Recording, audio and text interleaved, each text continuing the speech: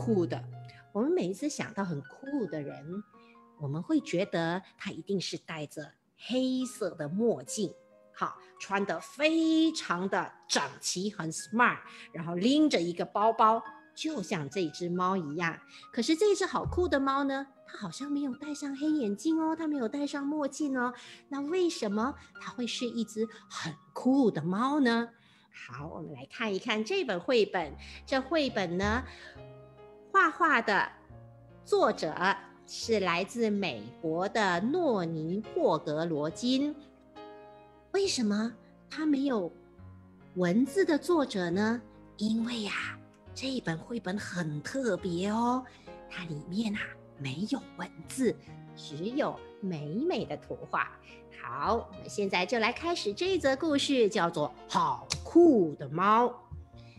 各位小朋友看一看。这真的是一只挺酷的猫咪，你看它手上拎着是一个金闪闪的行李箱，哎，究竟这里面装的是什么？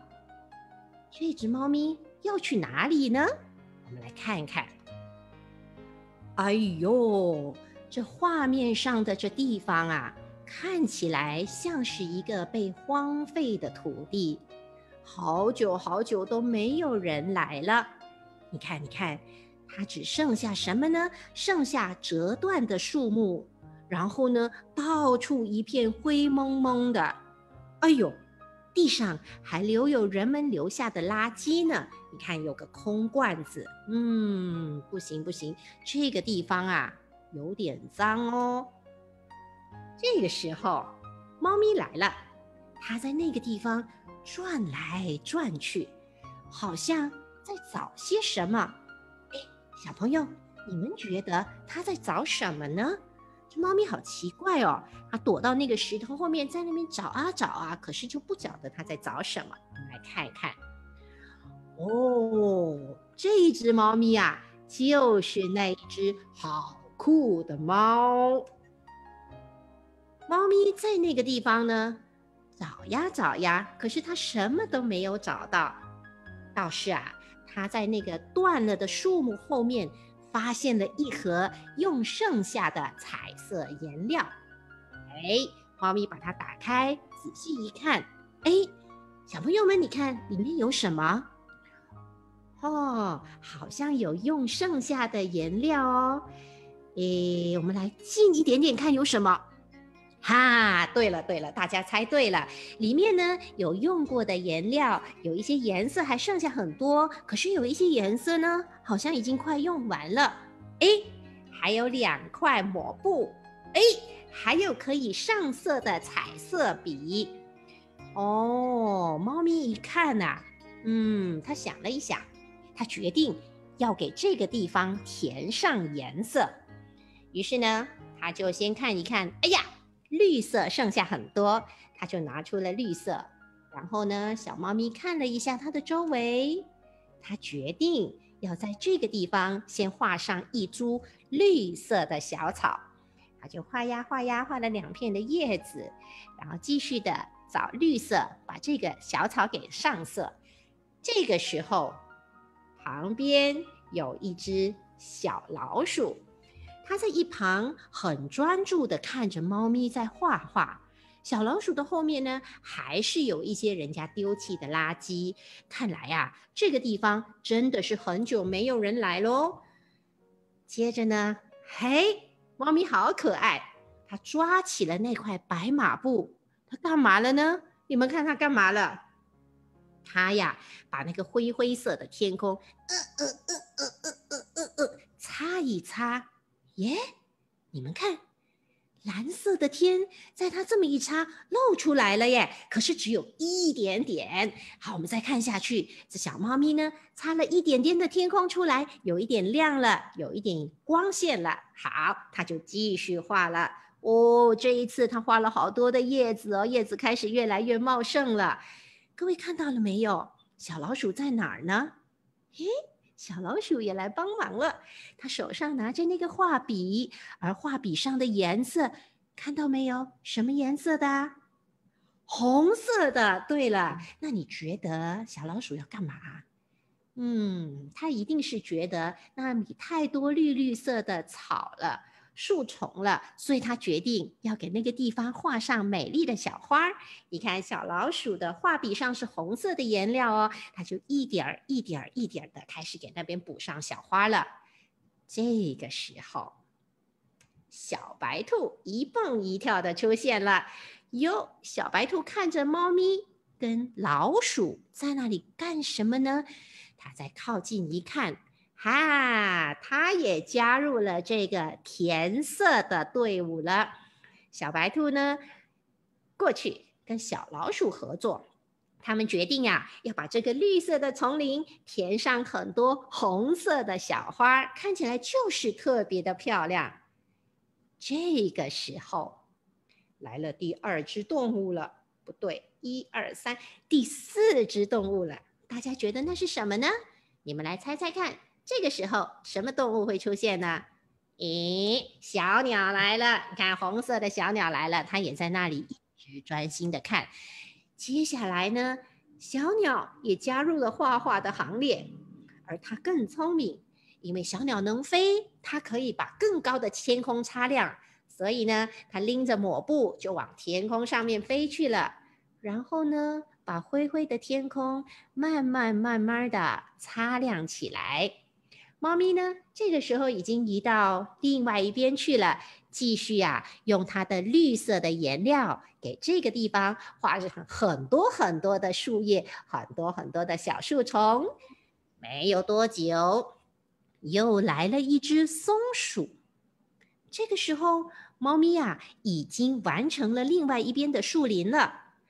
兔子、老鼠继续补上它们的小花儿，而小鸟呢？你们看。天空已经快要被擦干净喽，整个天空啊是蓝色的一片，还有一点点的白云呢。哎呦，这个时候你们看谁来了？在地上那里爬呀爬呀，那个是什么呀？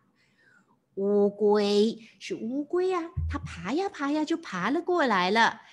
大家呢决定啊，为这一只小乌龟。画上一条小溪流，那么乌龟就可以很快乐的在里面游泳了。当然，还有其他的新朋友一个一个的加入。我们来看看还有谁？咦，多了两只小鸟，对不对？还有多了什么东西？你们看到没有？里面好酷的猫在了，老鼠在了，白兔在了，松鼠在了。红色的鸟在了，还来了两个他的朋友，一只乌龟。有没有发现还有一只动物呢？青蛙。对了，它躲在哪里呢？哦，你们的眼睛太厉害了，比老师还厉害。老师我啊，可是找了很久很久才发现它的呢。它在左下角的那个猫后面的小角落，各位看到没有？啊，那边还有一只新朋友。你看，这小溪流画好喽，真好，动物们都好开心哦，尤其是青蛙跟乌龟，因为它们又可以下水去玩喽。那这个时候呢，每一只小动物的手上都握着画笔，大家继续努力着。哦吼，又来了一只鸭子也来了，可是颜色都上完了，那鸭子要干嘛呢？它大概是一个客人吧。各位看一看，好棒的一个颜色，好棒的一个画面。终于啊，大家都一起完成了这个上色的任务。大家把画笔交回给小猫咪。小朋友们，大家再仔细的想想看，这个地方刚才还没有上色之前有什么不一样呢？哦，刚才一点颜色都没有。